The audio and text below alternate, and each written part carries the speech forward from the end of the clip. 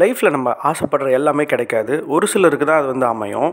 ரீசெண்டாக நான் ஒருத்தர்கிட்ட பேசிகிட்டு இருந்தேன். அவருடைய ஸ்டோரி தான். அவர் ஆக்சுவலாக வந்து ஒரு அக்ரிகல்ச்சரல் லேண்ட் வாங்கலாம் அப்படின்னு பார்த்துட்ருக்கோம் அப்படின்னு சொன்னாங்க. Which actually is a good thing ஏன்னா இன்றைக்கி வந்து கோவிடுக்கு அப்புறமா நிறைய விலைலாம் ஏறி போயிருக்கு அப்படின்னு சொன்னேன். அங்கே தான் ப்ரோ பிரச்சனை. ஏன்னா வந்து ஒரு three three point five acres land நாங்கள் வாங்கலான்னு பார்த்தோம். ஆனால் விலை வந்து யோசிச்சு கூட பார்க்க முடியாத அளவுக்கு விலை ஏறி போயிருக்கு. ஒரு seventy four seventy five lakh rupees வந்து சொல்கிறாங்க அதனால் வந்து யோசனையாக இருக்குது அப்படின்ற மாதிரி சொன்னார். சரி இப்போ இதுக்கு பின்னாடி வந்து ஒரு பேக் ஸ்டோரி இருக்குது இவரை பற்றி நான் குயிக்காக சொல்லணும் அப்படின்னா முதல்ல இந்த எந்த ஊரில் இருக்குது எந்த ஊரில் இது நடக்குது அப்படின்னு பார்த்தோம்னா சேலம் நாமக்கல் திருச்செங்கோடு இந்த பெல்ட்டில் நடக்கக்கூடிய ஒரு கதை தான் இது. இந்த டூ தௌசண்ட் டென்னில் அவங்க வந்து ஒரு வீடு கட்டணும் அப்படின்னு வந்து விருப்பப்படுறாங்க. அப்போ வீடு கட்டுறக்குள்ளே வந்து யோசிச்சு கூட பார்க்க முடியாத ஒரு தொகை. இன்றைக்கி தான் வந்து ஒரு வீடு கட்டுறதுக்கு ஒரு தேர்ட்டி ஃபார்ட்டி லேக்ஸ் ஆகுது. ஆனால் அவங்க வந்து அன்றைக்கே வந்து டூ தௌசண்ட் டென்லேயே வந்து ஒரு நாற்பது லட்ச ரூபா போட்டு ஒரு வீடு வந்து கட்டியிருக்கிறாங்க. அதுவும் டவுன் லிமிட்லேயே இருக்கணும் அப்படின்றதுனால வந்து அந்த செலவு பார்க்காம வந்து அவங்க கட்டிட்டாங்க.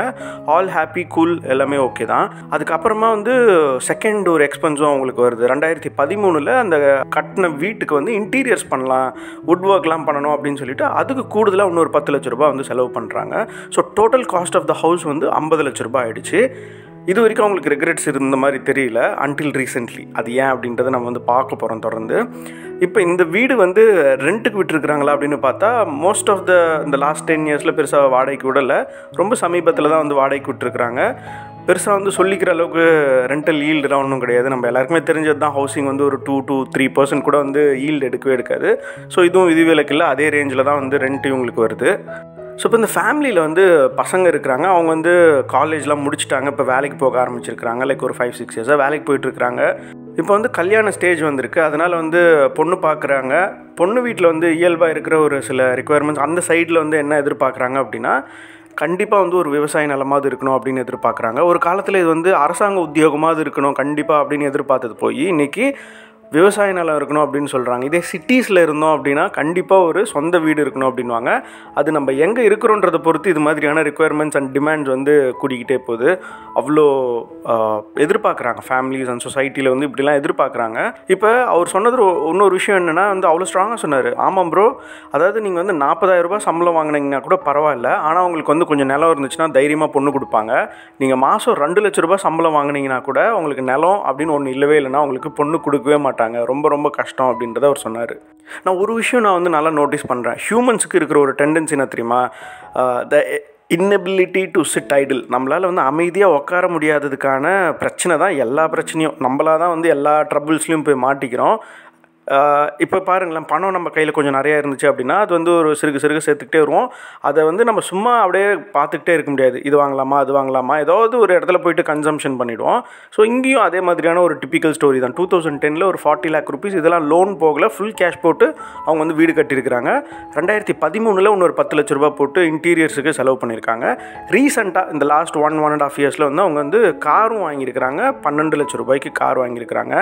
அவர் இதுவும் சொன்னார் ப்ரோ நாங்கள் எதிர்பார்த்ததை விட இது வந்து பயங்கர எக்ஸ்பென்சிவாக இருக்குது ஓனர்ஷிப் ஆஃப் அ கார் வந்து ரொம்ப இருக்குது பெட்ரோலுக்கே வந்து எக்குத்தப்பான செலவாக இருக்குது க்ளோஸ் டு லேக் வந்து நாங்கள் வந்து செலவு பண்ணிட்டோம். வாங்க கார் வாங்கின புதுசில் கொஞ்சம் நல்லா இருந்துச்சு. கொஞ்சம் நிறையா வந்து வெளியிலலாம் போன மாதிரி இருந்துச்சு. ஆனால் இப்போ வந்து மோஸ்ட் ஆஃப் த டைம்ஸ் வந்து சும்மா ஐடியில் தான் உட்காந்துருக்கு ஒன்றுமே வந்து எங்கேயும் போகிறதுக்கு இல்லை அப்படின்றது தான் சொன்னார். Plus insurance cost toll parking அது மாதிரி நிறைய வந்து பயங்கர எக்ஸ்பென்சிவாக இருக்குது அப்படின்றத ரெக்ரெட்டாக தான் சொன்னார். இன்ஃபேக்ட் ஒரு சிலர் வந்து என்கிட்ட இந்த காரை பற்றி பேசக்குள்ளே சொல்லியிருக்கிறாங்க. கார் இருந்தால் கூட நாங்கள் வந்து இப்போ ஃபேமிலியாக ஒரு ட்ரிப்புக்கு போகிறோம் லட்சே ஒரு கொடைக்கானலுக்கு போகிறோம்னா கூட பப்ளிக் ட்ரான்ஸ்போர்ட் எடுத்து நாங்கள் வந்து பஸ்ஸில் தான் போகிறோம் அப்படின்னு சொன்னவங்களாம் கூட இருக்கிறாங்க. ஸோ கார் வாங்குறதுக்கு முன்னாடி ஒரு வாட்டிக்கு பத்து முறை யோசிங்க. ஸோ இப்போ வருவோம் இவர் வந்து சொன்னது வந்து மெயினாக நாங்கள் வந்து விவசாய நிலம் வாங்கணும் அப்படின்னு பார்க்குறோம் அப்படின்னு சொல்கிறாரு மூன்றரை ஏக்கரா வந்து உங்களுக்கு வந்து விலைக்கு பார்த்துருக்குறாங்க ஸோ அதோடைய விலை வந்து எழுபத்தி நாலு எழுபத்தஞ்சு லட்ச ரூபாய் இந்த விலையை கேட்டது தான் அவங்க வந்து அவங்களுக்கு வந்து பயங்கர ஷாக் ஆகிடுச்சு ஏன்னா கோவிடுக்கு முன்னாடி இவ்வளோ விலை கிடையாது. ஒரு ஏக்கருடைய ரேட் வந்து பார்த்திங்கன்னா செவன் பாயிண்ட் ஃபைவ் லேக்ஸ் இது மாதிரி தான் இருந்திருக்கு. இன்றைக்கி அது இருபத்தி ஒரு லட்ச ரூபாய் தாண்டி இருக்கு ஒன்றரை வருஷத்தில் மூணு மடங்கு அப்படியே ஜம்ப் இன் ப்ரைஸ் ஸோ பயங்கர ஷாக் இவங்களுக்கு. இன்ஃபேக்ட் வந்து கையில் பணம் வச்சுருக்கிறாங்க. அவங்க வந்து ரொம்ப நாளாகவே வந்து நெ விவசாய நிலம் தேடிக்கிட்டே தான் இருக்கிறாங்க. அமையலை ஆனால் இப்போ தான் எங்களுக்கு அமைஞ்சுது. ஆனால் இவ்வளோ விலை ஏறி போயிடுச்சு அப்படின்றத ஒரு வருத்தமாக தான் சொன்னார். நான் ஜஸ்ட் அவுட் ஆஃப் கியூரியாசிட்டி நான் கேட்டேன். அப்போ வந்து நீங்கள் வீடு கட்டின அந்த டைமில் வந்து இந்த ஏக்கர் ரேட் வந்து என்னவாக இருந்துச்சு அப்படின்னு கேட்டதுக்கு இன்ஃபேக்ட் அவங்களே வந்து செக் பண்ணியிருக்கிறாங்க போல். ரெண்டாயிரத்தி எட்டு காலகட்டத்தில் வந்து ஒரு ஏக்கர் வந்து ஒன்றரை லட்ச ரூபா தான் இருந்திருக்கு. கொஞ்சம் யோசிச்சு பாருங்களேன். இன் அன்னைய காலகட்டத்தில் இவங்க வந்து ஃபார்ட்டி லேக் ருபீஸ் வந்து கையிலிருந்து ஒரு வீடுக்காக வந்து செலவு பண்ணாங்க. அந்த நாற்பது லட்ச ரூபாயை வந்து இது மாதிரி விவசாய நிலம் வாங்கியிருந்தாங்க அப்படின்னா ஒரு இருபத்தி ஆறு ஏக்கராது இவங்களால் வாங்கியிருக்க முடியும். அதை வாங்கிட்டு இந்த பத்து வருஷம் வந்து அவங்க அப்படியே ஒரு ரெண்டட் வீட்டில் இருந்திருந்தாங்கன்னா கூட இன்றைக்கி ஒரு மேபி வந்து ஒரு பத்து ஏக்கரை போய் விற்றுருந்தாங்க அப்படின்னா மேபி வந்து ஒரு டூ க்ரோர்ஸ் வந்திருக்கும். அதை எடுத்துகிட்டு போயிட்டு இன்றைக்கி அவங்க இருக்கிற அதே லொக்காலிட்டிலே வந்து அதே மாதிரி ஒரு வீடை கட்டியிருக்கலாம். இல்லை வந்து ரெண்டு கோடி ரூபாய்க்கு மதிப்பில் ஒரு புது வீடை கூட அவங்க வந்து வாங்கியிருக்கலாம். ஏன்னா இவங்க வந்து இப்போ அந்த ஃபார்ட்டி ஃபிஃப்டி லேக்ஸ் வந்து செலவு பண்ணாங்க பார்த்தீங்களா அந்த வீட்டுக்கு. இன்றைக்கி அதோடைய காஸ்ட் அதாவது வந்து மார்க்கெட்டில் வந்து விற்றாங்கன்னா என்ன விலை போகும் அப்படின்னு கேட்டேன். ரெண்டு கோடி ரூபாய் அதுக்கான மதிப்பு இருக்குது அப்படின்னு சொன்னார். ஸோ இப்போ அந்த ஃபிஃப்டி லேக்ஸ் வந்து ஒரு இடத்துல டிப்ளாய் பண்ணிவிட்டு அது வந்து டூ க்ரோர்ஸாக வந்து வளர்ந்துருக்கு. வேற இது வந்து ஒரு அக்ரி லேண்டில் இதே ஃபார்ட்டி ஃபிஃப்டி லேக்ஸை போட்டிருந்தாங்க அப்படின்னா அது வந்து இன்றைக்கி மதிப்புக்கு அது வந்து ஒரு அஞ்சரை கோடி ரூபாயை தாண்டுது. உள்ளது அப்படின்றதான் பாயிண்ட்டு இன்ஃபேக்ட் அவரே வந்து நாங்கள் இதெல்லாம் கணக்கெலாம் போட்டு பார்த்துருக்குறோங்க. போட்டு பார்த்துட்டு நம்ம இது பண்ணியே இருக்க தேவையில்லை. கார் வாங்கியிருக்க தேவையில்லை. இது மாதிரி வந்து அந்த ரிக்ரெட்ஸ் வந்து இருக்குது. ஸோ அதனால் வந்து பிக் டிக்கெட் பர்ச்சேசஸ் பண்ணக்குள்ளே நம்மளால் இது வந்து பண்ண முடியுமா? இல்லை வந்து பெட்டர் ஆல்டர்னேட்ஸ் என்ன இருக்குது நம்மளால் வந்து ஏன் ரெண்டட் பிளேஸில் இருந்தால் என்ன பிரச்சனை? இது மாதிரி நிறைய விஷயங்களை நம்ம வந்து ஃபேக்டர் பண்ணி பார்த்துட்டு நம்ம மேபி வந்து ஒரு ரிட்டையர்மெண்ட் டைமில் நம்ம வந்து வீடு வாங்கணும் இல்லை வந்து வீடு கட்டணும் அப்படின்னா வந்து இன்னும் நல்லா பெட்டராக பிளான் பண்ணுறதுக்கு நம்மளுக்கு ஹெல்ப் பண்ணும் நம்மளுடைய ஃபினான்சஸாக இருக்கலாம் நம்மளுடைய காஸ்ட் ஆஃப் கன்ஸ்ட்ரக்ஷன் இல்லை நம்மளுடைய சைஸ் ஆஃப் த ஹவுஸ் இது மாதிரி நிறையா பேராமீட்டர்ஸில் கொஞ்சம் கிளாரிட்டி கிடைக்கும்.